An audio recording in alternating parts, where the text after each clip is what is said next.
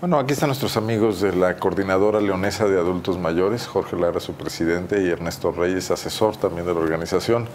Porque bueno, las cosas no caminan en León, van a las calles, marchan, los reciben en juntas en el Palacio de Gobierno, pero se me hace que nomás les dan a tole con el dedo. No sé cómo están viendo las cosas, pero ustedes platiquen Jorge. No, bueno, eh, la última manifestación que hicimos fue el 24 de... Ese día estuvieron aquí. De julio, ese día estuvimos aquí, efectivamente.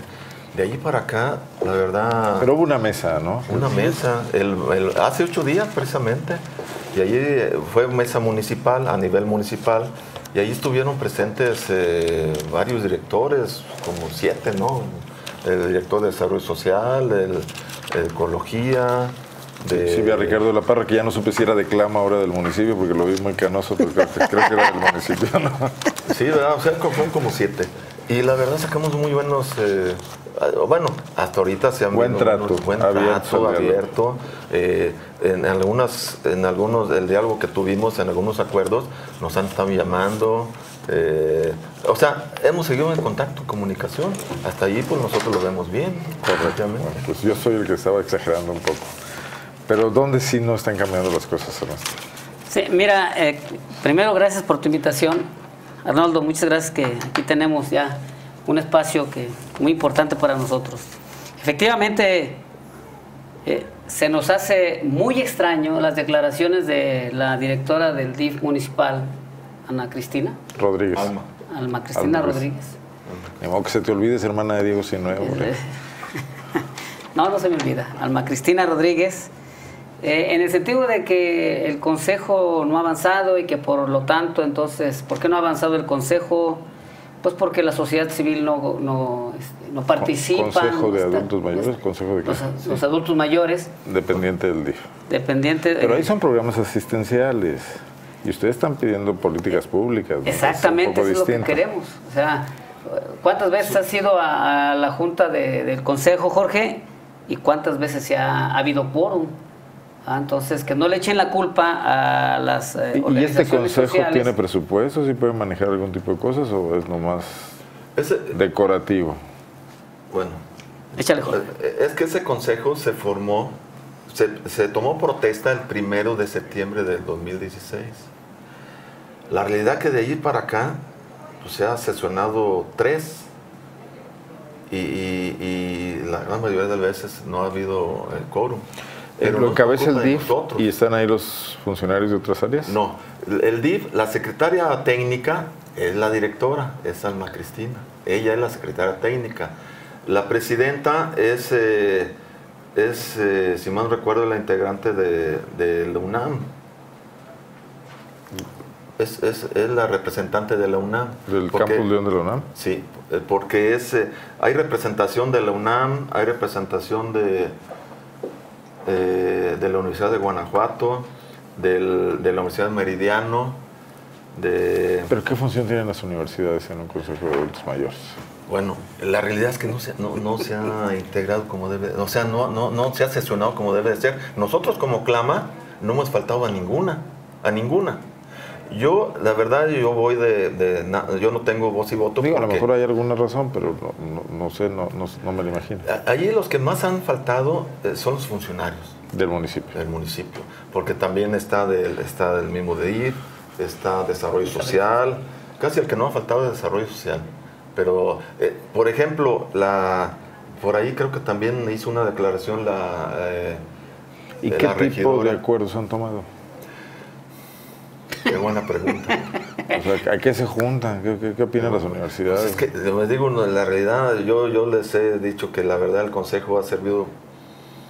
¿Y, con qué objetivo se formó este Consejo? Ya, ilústrame un poco, ¿no? Mira, nosotros creemos que con Consejo, sin Consejo, con organizaciones de la sociedad civil, con que esté un gobierno que le interese la cuestión de un sector social, deben de existir políticas públicas. Punto, así de fácil. O sea, el gobierno tiene que tener, debe de tener políticas públicas para la niñez, para los estudiantes, para las amas de casa, para la, cuestión de la, de la, población de la tercera edad, las madres solteras. independientemente si hacen consejo o no hacen consejo. Entonces, bueno, crearon este consejo, nosotros dijimos, bueno, ahí va a estar, ahí vamos a tener una participación integral, más, más cohesionada socialmente.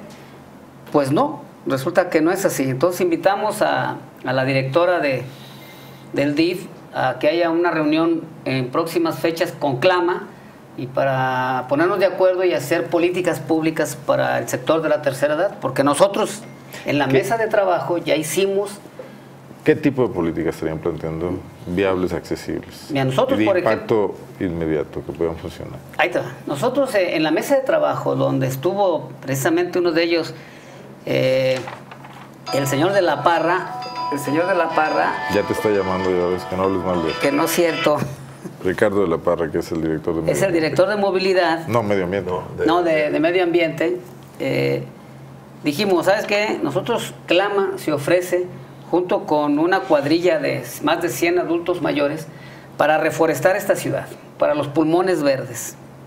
que se les pague un- una A- compensación. a- a- el señor le dijo, órale, adelante, estaría muy bien. Incluso buscaríamos un salario ecológico para los adultos mayores, ayudados por los jóvenes de Nuevo Rumbo, ¿sí? en Donde- programas que de todas maneras ellos realizan y que están obligados a realizar. O sea, hay juntas dos políticas, la ambiental y la de la tercera edad. Ah, Nos ofrecimos en la cuestión de movilidad ¿sí? a hacer unas campañas por la seguridad, cómo cuidarse en los camiones. Desde la tercera edad nosotros nos ofrecemos para decirle a la gente cómo debe de cuidarse junto con seguridad, junto con movilidad, Porque los asaltos se han puesto a la orden del porque día los al asaltos interior nos de... afectan a todos, no nomás al adulto mayor, ¿no? Entonces, nosotros Clama estamos ahí proponiendo políticas públicas al servicio de la ciudadanía, sin ser gobierno, Ah, porque ojalá algún día Jorge sea presidente de ciudad. ¿Qué dijo, ¿Qué dijo de la Parra? No, lo vamos a lanzar para el candidato independiente a gobernador. Entonces dijo de la Parra que sí, adelante, vamos a empezar con 10. Nosotros tenemos ya bien registradas 10 áreas mm, de donación en las colonias, en las diferentes colonias donde tenemos inserción social. Eh, pudieran ser más, pero vamos a empezar con 10. Y con dos arroyos, estamos proponiendo dos arroyos para empezar. De la Parra dijo, adelante, eh, si se pudiera dar ese salario ecológico, Clama dice, bueno, pues gracias, y si no, de todos modos le atoramos. ¿Por qué? Porque nos interesa transformar las condiciones de vida de esta ciudad. ¿sí? Entonces, por eso el extrañamiento ¿sí? de, de, de Ana Cristina, de Alma Cristina, donde nosotros ya estamos proponiendo... ¿Se produjo el extrañamiento después de la reunión en la Sí, después de la- Es que no fue a la reunión, yo creo, ¿no? Fue la, la directora de atención al adulto mayor. Porque ella es la directora general. Sí. Y fue esta- esta- la persona esta del DIF. Sí, sí, Sí, sí. fue ella. Inclusive nos acaba de hablar para que, que quedamos en reunirnos para hacer una visita a todas las instalaciones que hay en León del DIF, para que nosotros también estemos enterados eh, qué es lo que ellos hacen. Porque también es cierto, a lo mejor nosotros también vemos, vemos superficialmente algunas cosas, ¿no? Entonces por eso está eso pendiente. A ver, es la única agrupación de adultos mayores en León que aglutina ya cuántas personas debidamente registradas. Ahorita, eh, bueno, eh, ayer éramos 2.428. Ahorita se registraron, no, te debo exact- la cantidad exacta, pero entre 30 y 40. El día de O hoy. sea, 2.500 personas. 2.500 O sea, son un montón, son muchísimos.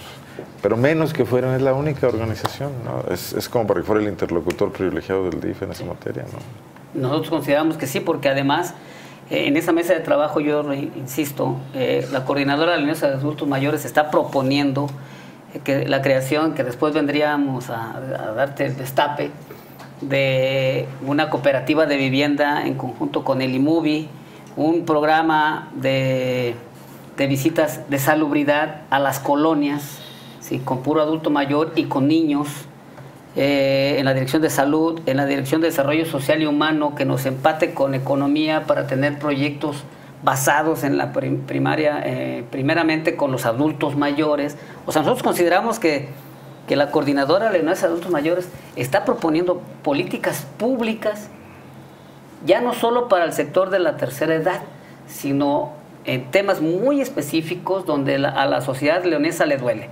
La seguridad en el transporte, el empleo, la vivienda, la salud, El principalmente. Sí. Bueno, ¿va a haber más reuniones como la que tuvieron?